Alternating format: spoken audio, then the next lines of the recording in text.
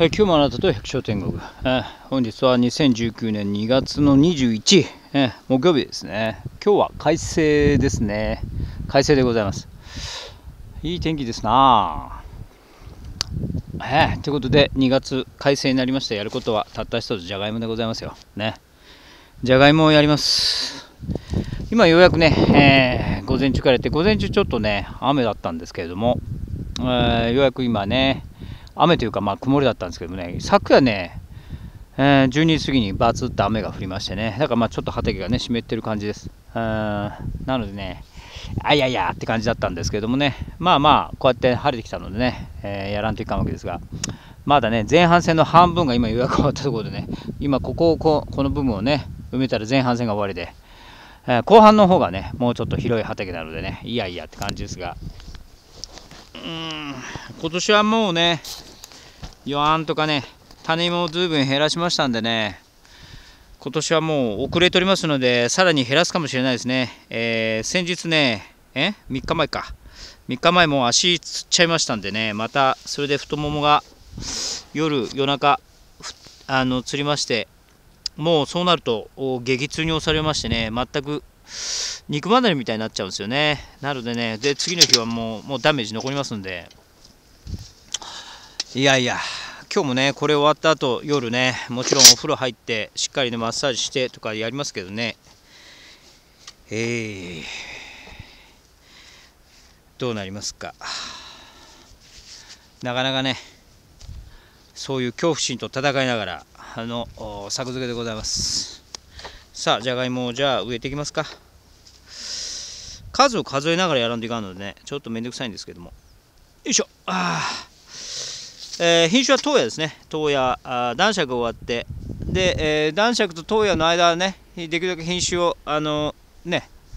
こう分かりやすくするために間にアンデスを挟んで、アンデス赤色ですからね。という感じで、あの芋掘りの時にね、できるだけはっきりと、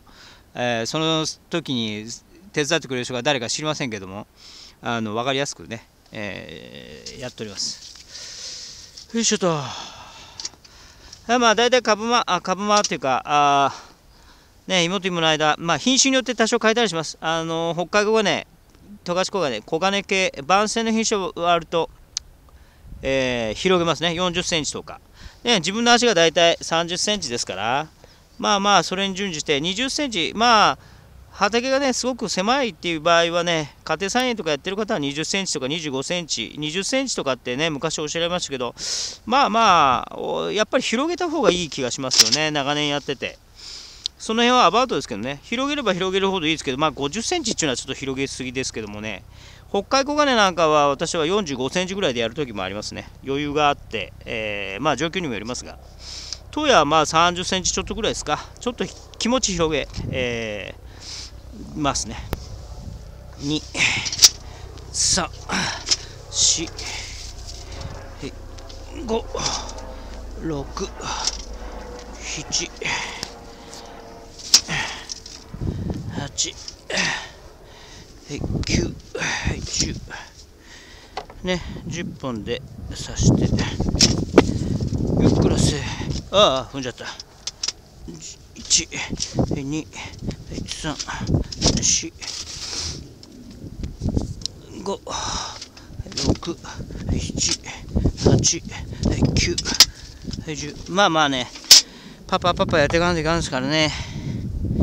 あんま喋ってる余裕ないんですけど。はい、1、2、3、はい、4、はい、5、はい、6、7、8、9、はい、10。はあはあ1、2、3、4、5、6、7、8、9、10。ずっとね、中腰でしゃがんでやるのでね、なかなかちょっとしんどいんですけども、もうちょっと狭くてもいいかな。数がね、ちょっと欲しいんでね、1、2、3、4、5、6、はい、7、8、9、10ここはちょっとねもう狭い。向こうと比べてねだいぶ狭くなってきてますんでね畑の長さがねね1 2 3 4 5 6 7 8 9 10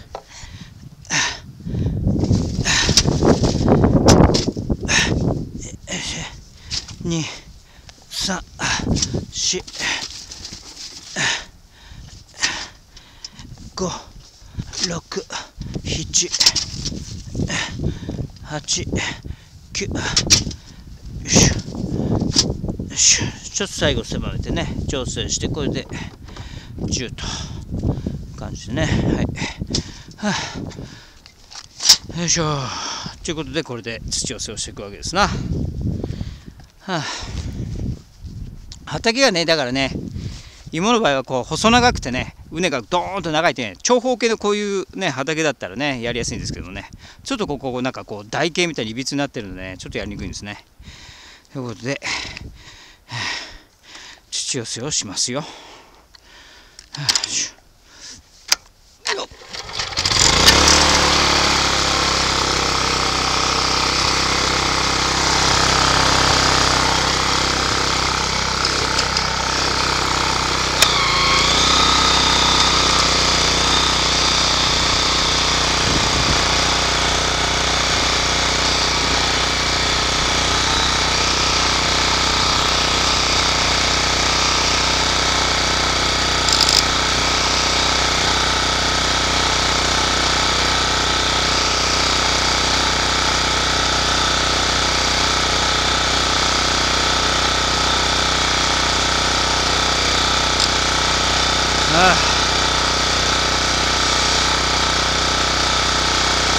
なんとかね2月の終わりでね半分は行きたいんですけどもね。3月入ったらちょっともう里芋かかりたいんでね。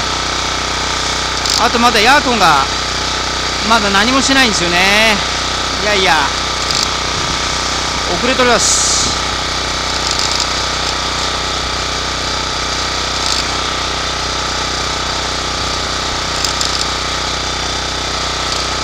今日はね研修生がいないもんでまあ一人でねこうやって作業しております。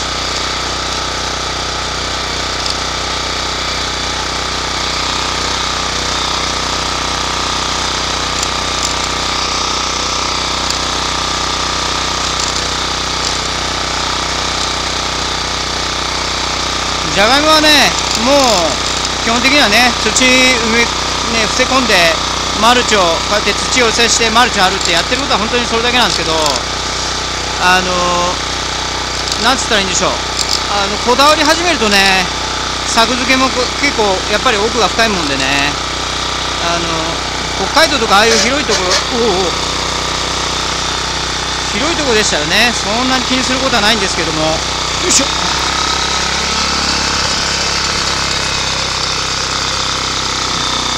意外とねこれはこれでね奥が深いものです。多分ね皆さんそれぞれねあのやり方がこだわりとかあってねうちもやっぱりそのこの土寄せには割とこだわってやっておりますよ。まあ何がいいか悪いか分かんないですけどもあのできるだけねうちは高く畝を高くするということにこだわっております。だからこうやってね今少しずつこうやって寄せながらかなりの土の量をねこうやって多分だから普通の農家さんよりかは高畝だと思いますね。意外とねこんなに高く持っちゃっていいのかなと思ってねあの発芽とかあのうちは目出しは特にしないですけどもまあでも出ますよね。まあ春先になってこのマルチをねツンツンツンツンしてきますので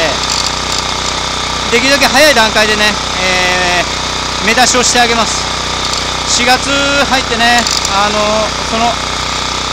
もうちょっとあれだな。よいしょっと。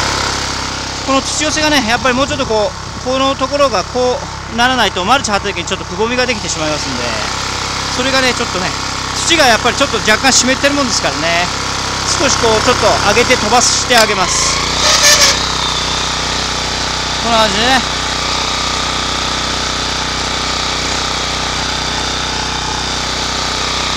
綺麗な台形をね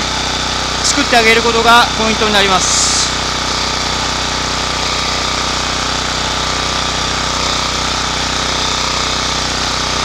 今年はちょっとね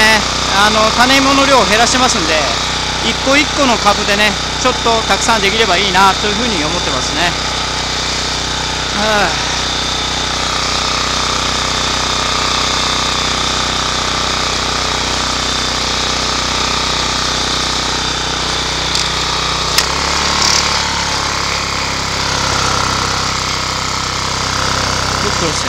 はいこんな感じですね。えー、ちょっと。うまく映ってるかどうか自信ないですけども。まあこんな感じで割とこう見てもらえれば割と高値になってるんですよねうちはね。ね参考にしてもらえたらと思います。あの低い方がね意外とあの何ですか畝間の管理が楽なんですけどもね。これで1回あの5月になったらあのサクリのこう引っ張るやつでなあの1回ないし2回収穫までの間にそうですね最低でも1回。まあ2回できればいいですけどね。2回以上おそらく畝間管理をすることはないです。うちはね。そんな感じでねじゃがいもやってます。もうじゃがいもこれで3回ぐらい撮影したからもうあれですか。ネタには飽きましたかね。そんなことで、えー、2月ねじゃがいもも終盤に入ってこなきゃいけないですけどまだ前半をやっているそんな百姓農園の動画でございました。それではまた。